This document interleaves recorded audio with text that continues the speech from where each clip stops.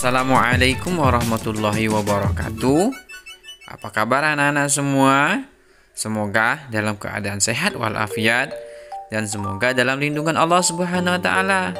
Tetap semangat dan tetap sehat ya anak-anak semuanya.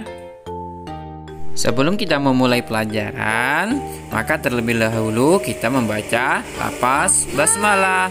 Bismillahirrahmanirrahim. Anak-anak semua, kali ini pelajaran kita tentang Nabi Muhammad Shallallahu Alaihi Wasallam teladanku. Sikap jujur Nabi Muhammad Shallallahu Alaihi Wasallam. Nabi Muhammad Shallallahu Alaihi Wasallam terkenal jujur dalam setiap perkataan dan perbuatannya. Dengan kejujurannya, beliau mendapat gelar Al-Amin. Sejak kecil, Nabi Muhammad SAW memiliki sifat yang jujur. Beliau dikenal sebagai pedagang yang jujur, juga sebagai pemimpin yang jujur.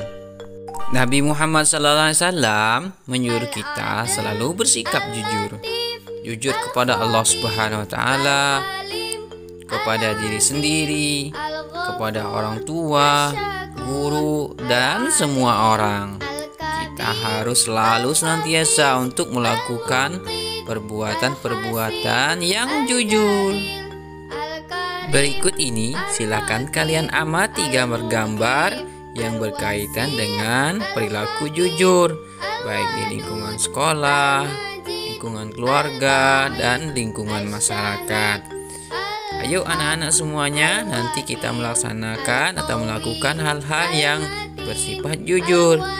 Jujur dalam beribadah, jujur dalam mengerjakan soal, jujur dalam berperilaku dalam kehidupan sehari-hari. Demikianlah video pembelajaran kita kali ini. Semoga anak-anak semua memahami apa yang Bapak sampaikan. Bapak akhiri, Assalamualaikum warahmatullahi wabarakatuh.